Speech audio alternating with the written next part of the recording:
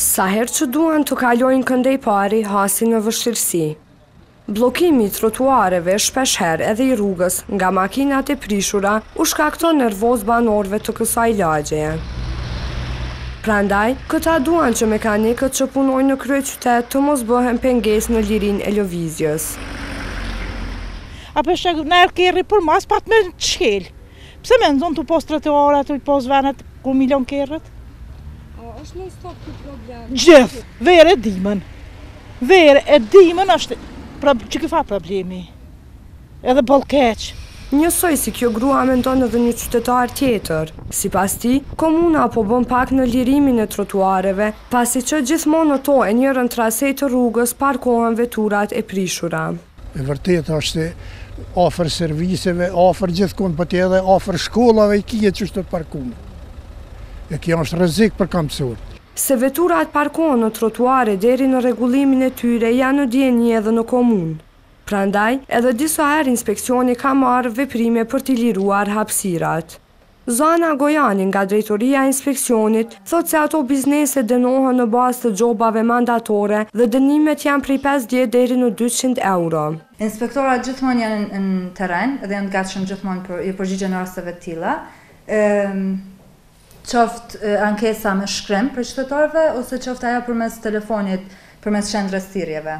Ose gjatë terrenit kur janë tu skanu që nalen edhe dënojnë. Ka pas plot raste kur kanë lëshu proces, kanë bo procesverbale, kanë lëshu vendime edhe kanë ka shumë raste edhe kur lëshohen gjoba mandatore. Gojani nuk ka dhënë shifër se sa biznese janë dënuar, mirëpo thotë që këto probleme janë të përsëritshme.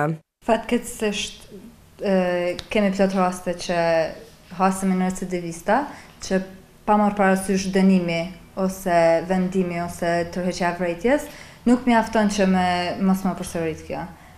Po shpresoj që kjo dukuri ka me ikë shpejti mbas gjobave. E shumë nga pronarët dhe punonjësit që pengojnë qytetarët me bizneset e tyre nuk duan të flasin për këtë çështje.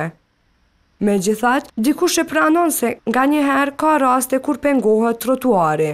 Mundet edhe për moment me kon, po ato i largojmë na veturat edhe është thënë se jo diçka për afatgjatë jo. Mun ndodh moment, e parkon dikush një veturë dhe i sa dhe bëjë pranim në dhe e afrojmë mbrenda, e parkojmë dhe e fillojmë punën.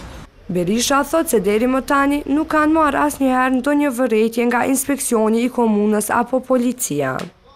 A i ka edhe një arsyetim?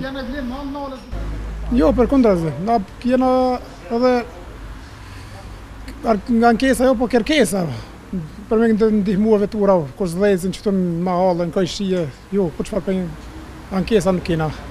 Edhe dikush tjetër që merret me biznesin e veturave, i ka të ekspozuara shumë mallra para dyqanit të tij.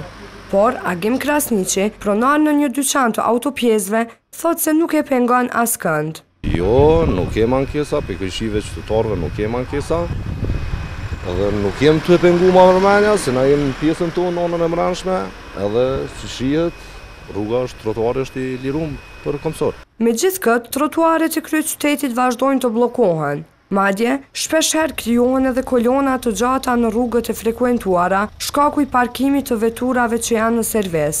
Po ashtu, përveç kësaj edhe rrugët ndoten nga rrjedhja e vajrave motorike.